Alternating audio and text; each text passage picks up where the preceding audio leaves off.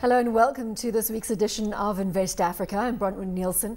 Now, Angola is striving to tackle the physical, social, and political legacy of a 27 year civil war that ravaged the country even after its independence in 1975.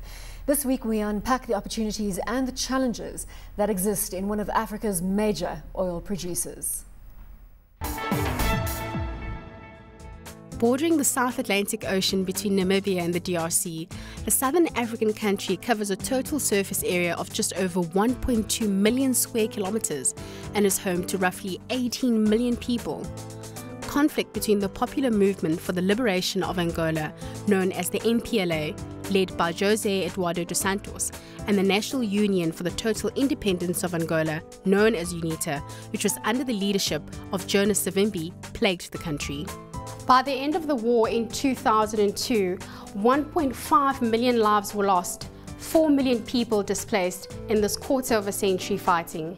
Angola is now faced with a daunting task of rebuilding its infrastructure from roads, ports, and railways to education and health systems. A combination of oil and war also explains why sectors such as coffee, once a big employer, have also been neglected, with oil reserves estimated at 13 billion barrels and production by 2011 more than 1.8 million barrels per day. Angola is now sub-Saharan Africa's biggest oil producer after Nigeria which it exports to its main trading partners, China, USA, and India. Other sources of revenue come from the exporting of diamonds, coffee, and fish. Although agriculture provides the main livelihood for the majority of the population, half of the country's food is still imported. Other import commodities include machinery, medicine, and vehicle parts from import partners Portugal, China, and the USA. Angola's economy has been making inroads. In 2011, GDP growth increased slightly to 3.5% in 2011 from 3.4% in 2010. This was driven by rising oil prices and a strong non oil sector that grew by almost 8%, growth is projected to expand to 8.2% in 2012 and post at 7.1% in 2013. The Angolan democracy turned another page when the nation went to the polls on the 31st of August this year, and after winning 72% of the nation's votes in the recent elections, Jose Eduardo dos Santos' MPLA will need to enact extensive employment, social, and development programs. Joining me in studio to take a closer look at Angola as a business and investment destination, Jose Silva, Managing Partner, KPMG Angola, and Roger Ballard Tremeer, Honorary Chief Executive, South Africa Angola Chamber of Commerce. Gentlemen, thanks very much for joining me. Let's start with the business landscape uh, and a little colour, perhaps, Jose, being based there, to what one can expect when doing business in Angola. What certainly one could expect is a, a significant challenge in doing business in Angola. The opportunities are tremendous, but the challenges are also significant. So I think the, one can expect is, well, an hard job to, to, to, to catch those opportunities, but uh, there are uh, significant opportunities. Well, let, us focus a little on the challenges. Roger, what is the biggest challenge that we're going to confront in Angola? Probably the biggest challenge for, for people from English speaking uh, territories uh, will be the language. If you don't Obviously speak Portuguese, Portuguese. Uh, you're asking for trouble unless you make a plan one way or another. Uh, tomorrow, President Dos Santos uh, takes uh, the presidency officially for the first time.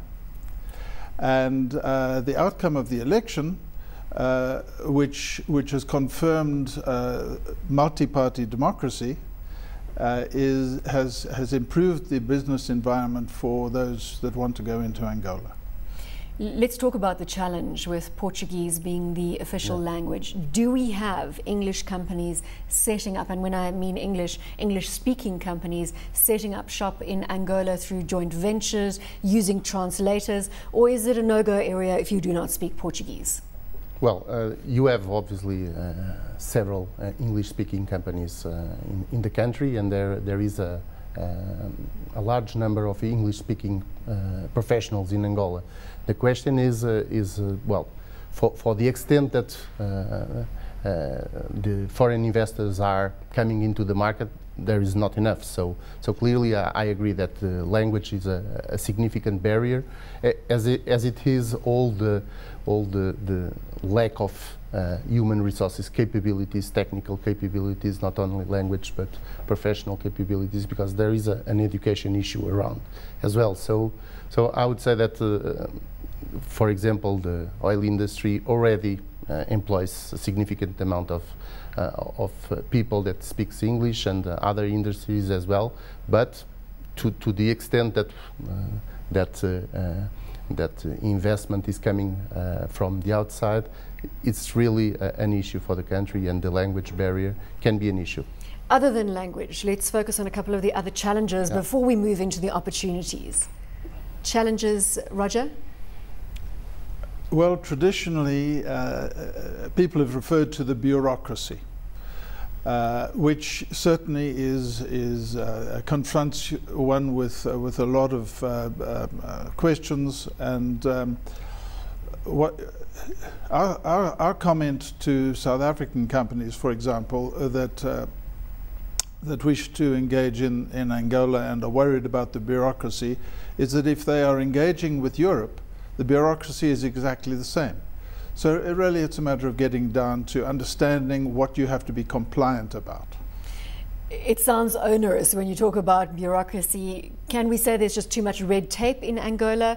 How do you see your way through or see yourself clear when it comes to the red tape?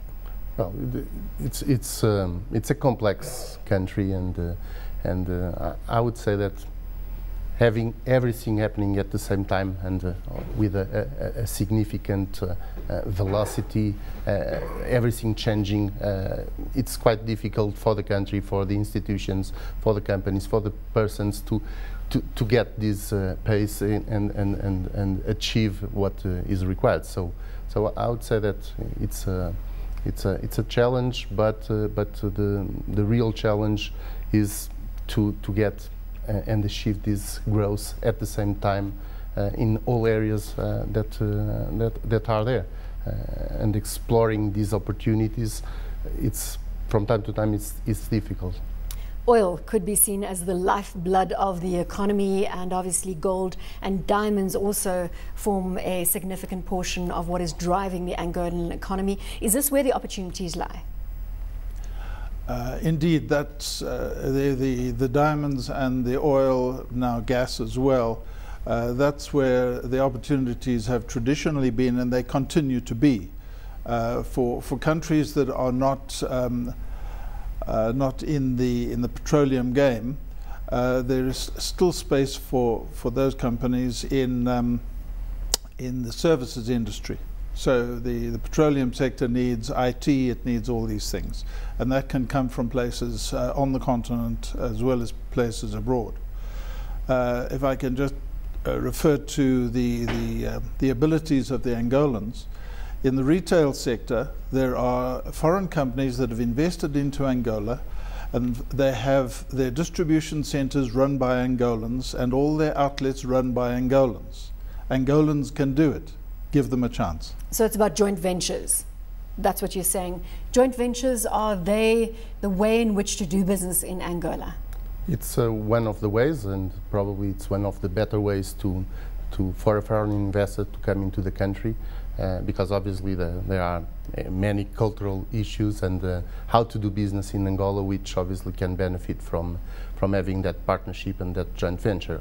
Obviously, there is also some lack of entrepreneurship uh, in, in, Angola. So, so it's uh, it's it's really important to find the, the right partner there to, to leverage your business uh, when you are coming into the country. We're very cognizant of the infrastructure troubles that the African continent as a whole faces. What does this landscape look like in Angola, specifically when it comes to, to infrastructure? Are you ahead of the game or are you pretty much in the same camp as the rest of Africa? Well, I would say that uh, we are pretty much uh, on the same uh, page uh, as the rest of Africa. As the introduction was uh, in this program, there was 27 uh, years of civil war, preceded by the colonial war. So the, the, the country was almost fully destroyed. So it almost came to a standstill. Yes, yes, and. and much has, has been done in the last decade, but uh, uh, one can say that much more is to be done uh, in the next decade. So uh, there are massive programs in terms of infrastructures, energy being the, the key strategic area to invest, but also ports, roads, uh, airports, facilities, uh, well, many, many infrastructures, also on the education, uh, um, housing, well, all the, the infrastructures needs to be reconstructed and, and be built to, to support the, the growth of Angola in the next decade. Now we know the Chinese and the Indians have been helping out, out when it comes to infrastructure challenges in terms of investment. Are we seeing that trend in Angola as well, or is language too much of a barrier? We mustn't forget that uh, China has Macau, which is Portuguese speaking. And uh, if you, if you uh, visit the, the camps uh, at projects, you often find that uh, there is a uh, there is one or more Chinese that come from Macau or from the area around Canton. They speak Portuguese with a Cantonese accent. So actually, the landscape's perfect then. It's perfect for them. The the the um, you, you really wouldn't recognize Angola if you'd been there in 2002 with the destroyed infrastructure and you visit there today Today you can get your inputs into your agricultural project in, one, in the remotest parts of Angola and you can get your outputs out from the remotest parts of Angola. You can, you can travel by bus anywhere, you can travel by taxi anywhere. Yes. So you're saying progress has been made? Tremendous progress. When Roger highlighted the fact that, that services are in need, and yeah. specifically around the petroleum sector, is that where key opportunities lie, in your opinion, Louis? Uh, I, I, would say that opportunities lie um, in every sectors, in every industries. Obviously, the oil and gas and the associated services industry are quite important and uh, have led in the past clearly the foreign uh, direct investment from, from, from abroad.